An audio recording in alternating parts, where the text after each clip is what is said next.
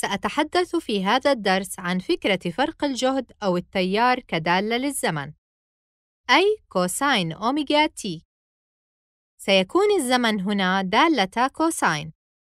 وكما تعلمون الزمن يزداد بشكل لا نهائي. لديكم متغير آخر يدعى أوميغا.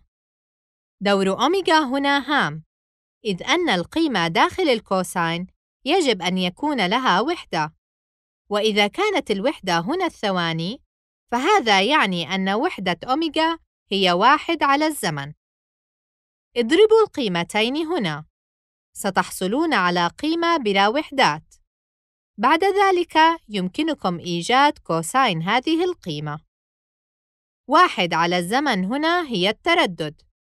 حسناً، قيمة أوميغا هنا ثابتة، أما الزمن فهو قيمة تزداد دائماً. يصبح لديكم الآن موجة cosine أو موجة جيبية، وهذه الموجة تستمر مع مرور الزمن. إذن حددتم دالة sine لديكم بين صفر واثنان pi بوحدة راديان. لاحظوا أنني غيرت المحور الأفقي إلى الزمن، وأصبحتم الآن تحسبون الزمن بالثواني كما هو واضح أمامكم. هذه النقطة على التمثيل البياني تساوي pi ثانية، وهنا 2 pi ثانية. لاحظوا أن هذه دورة كاملة لواحد cosine قبل أن تبدأ بالتكرر مرة أخرى. النقطة هنا تساوي 6.28 ثانية. إذن، في التمثيل لديكم قيمة أوميغا هي واحد أي عندما يصل t إلى 2 pi ثانية يصبح لديكم دورة كاملة. هذه هي فكرة موجات sine و cosine التي تتغير باستمرار. هناك العديد من التطبيقات على موجات sine في الطبيعة، منها رنين الجرس أو التصفير وغير ذلك. وشكل هذه النغمات يبدو كموجة sine أو موجة cosine. سندخل الآن في تفاصيل هذا النوع من موجات sine و cosine. هناك فكرة هامة حول الموجات المتكررة تسمى المرحلة. خذوا التغير في الزمن من هذه النقطة إلى هذه. هذه هي الفترة المتكررة لهذه الدالة. سموا هذه المسافة من هنا إلى هنا بالدورة. على الرغم من أن هذه الموجة هي موجة cosine، دورة ال sine هي هذه المسافة هنا، ونرمز لها عادة ب T كبيرة. انظروا الآن إلى موجة cosine هذه وحددوا دورتها.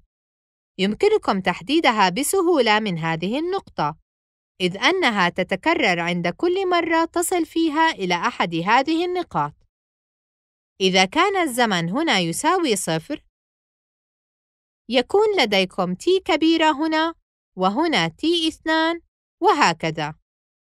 كما هو موضح في التمثيل البياني، الزمن T عند هذه النقطة يساوي 0.02 ثانية. إذا يمكنكم إيجاد الدورات عن طريق أخذ نقطتين. مثلاً، خذوا هاتين النقطتين. هذه النقطة إلى هنا. إذا قيمة T هنا تساوي قيمة T هنا. إذا الزمن t هنا هو الدورة. دعونا نحسب الآن عدد الدورات في الثانية الواحدة في هذا المثال. الدورة الواحدة تحصل كل t من الثواني. وفي الحالة أمامكم يوجد دورة واحدة كل 0.02 ثانية. خذوا مقلوب الصفر فاصلة صفر اثنان تحصلون على خمسين دورة في الثانية. وهو معدل تكرار هذه الموجة. تسمى وحدة الدورة في الثانية هرتز نسبة إلى العالم الألماني هاينريش هرتز. أصبح لديكم الآن طريقتان لحساب التردد. التردد F وحدته الهرتز وهو عدد الدورات في الثانية والدورة الواحدة تساوي 2 باي راديان في الثانية. إذن لديكم الدورات في الثانية والراديان في الثانية. ستستعملون الطريقتين خلال الحل. حسناً، الراديان في الثانية أي الرمز أوميغا يسمى التردد الزاوي أو تردد راديان وأحياناً يشار إليه بكلمة راد جدوا الآن العلاقة بين F وأوميغا ما قيمة أوميغا إذا كانت قيمة F معطاة لكم؟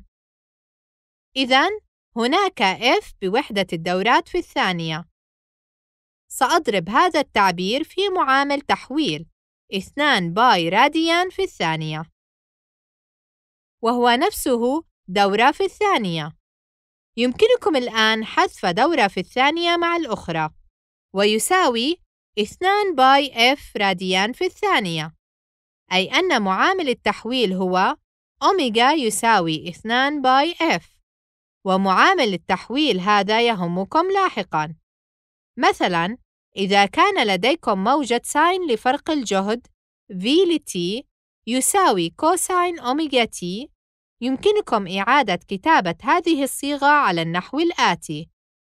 V ل T يساوي cosine 2 pi F ضرب T. وحدة هذا التردد هي عدد الدورات في الثانية وهذا راديان في الثانية. ويمكنكم التحويل بينهما باستعمال معامل التحويل هذا. عودوا إلى المثال في أول الدرس. كان لديكم إشارة قيمتها 50 هرتز أو يمكنكم القول 50 دورة في الثانية. يمكنكم كتابتها على هذا النحو. V ل T يساوي cosine 2 pi و F يساوي 50 ضرب T ويساوي cosine 100 pi T. 100 pi هو أوميغا وهذا العدد هو F. وصلنا بهذا إلى نهاية الدرس.